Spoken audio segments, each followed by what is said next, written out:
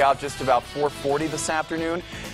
It started in an area between Franceville Coal Mine Road and Curtis Road. Flames burned about 50 to 60 acres and briefly threatened several barns and sheds. Crews were able to protect all the buildings threatened. Chief Michael Henley tells us it might have been set off by lightning.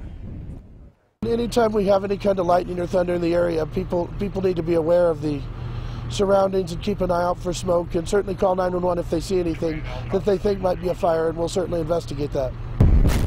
Multiple agencies were called in to assist Ellicott, including Hanover, El Paso County, Stratmoor Hills, Falcon, and Schriever Air Force units. Spotty showers earlier today. Some more weather is on the way tomorrow, though. Storm Tracker 13's Mike Everett is tracking some pretty big changes in just the next 20